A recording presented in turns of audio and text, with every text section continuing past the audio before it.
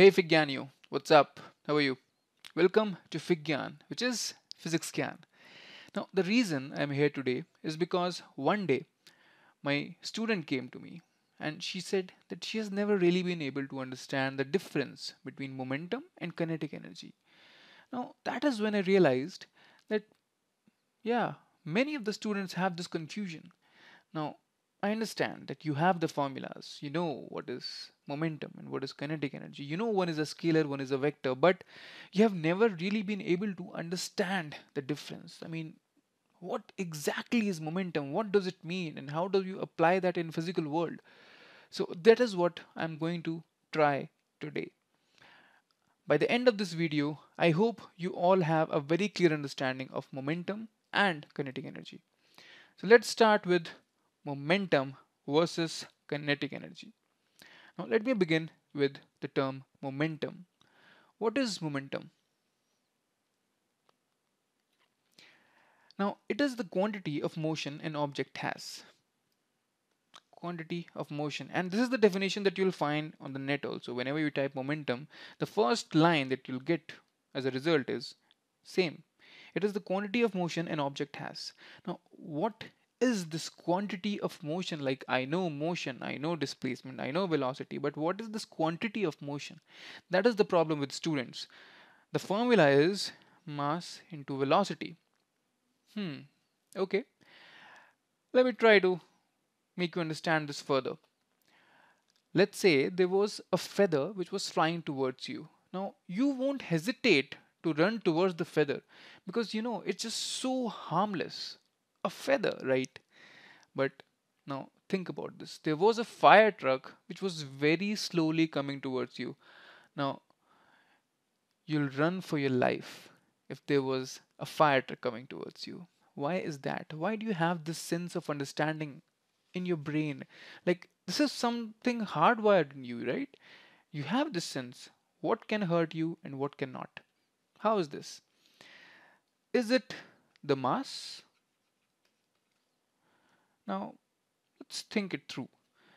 Okay, I accept the feather was light and the truck was much, much, much heavy.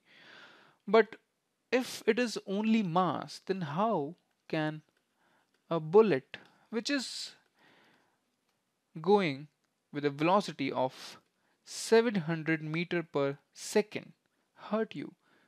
Because the mass of bullet is only 20 to 40 grams. So is it the mass or is it the velocity? It is the product. It is m into v which matters, which tells you you should run or you shouldn't. Yes, this is momentum. This is the feeling of momentum. The quantity of motion a body has. Now, let us talk about the change in momentum. And now I, I remember that you have heard about this. You know that Newton's second law said that delta P by delta T was equals to F net, right? Net external force was equals to the rate of change of momentum. So if there was a body moving with a velocity v. Let's say the mass was m. The momentum is mv, right? So it says that the rate of change of momentum, which means delta p becomes f net into delta t. What is this f net into delta t? See, this thing like this thing is what change in momentum.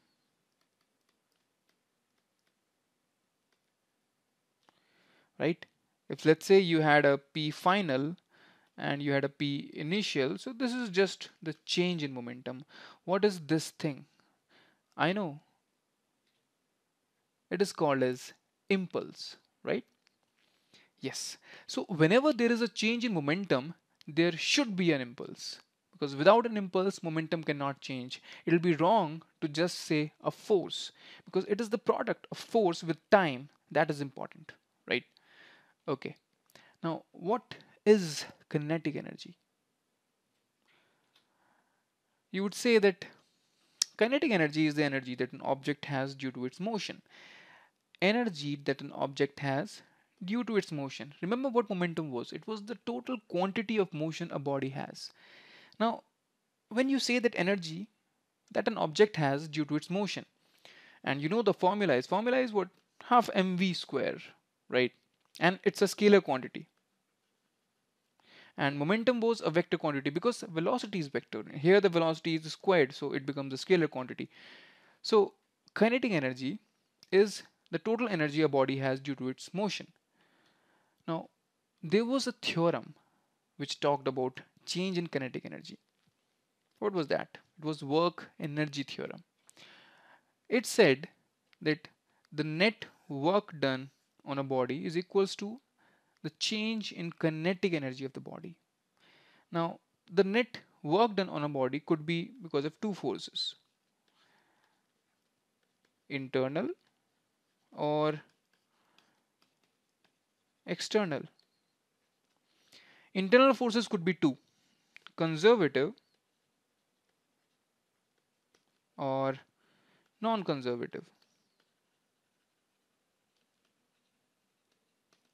In non-conservative, you can put friction. In conservative, you can put, let's say, gravitational or electrostatics. So, if let's say on a body there was no internal force, only external force, the work done would be F dot D right? D is the displacement. And this is equals to change in kinetic energy. So imagine, imagine this, this case is in front of you. Let's say there's a mass m and you apply a force F, right? You displace the mass to a distance d, which means you apply the force for a distance d and then you release the force. What will happen? Now that there is no external force, whatever velocity the body has achieved, it will keep moving with the same velocity, right? The energy this body has right now is half mv square.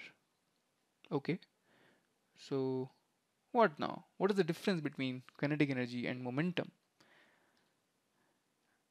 This is what I have been waiting to tell you because till now you have all the tools that you need to understand the difference. Now take a case. Let's say there is a mass m which is traveling with a velocity v. It has a momentum mv, right? Here you have a mass m which is moving with a velocity v. It has a kinetic energy half m v square right? To change the momentum, what you need is an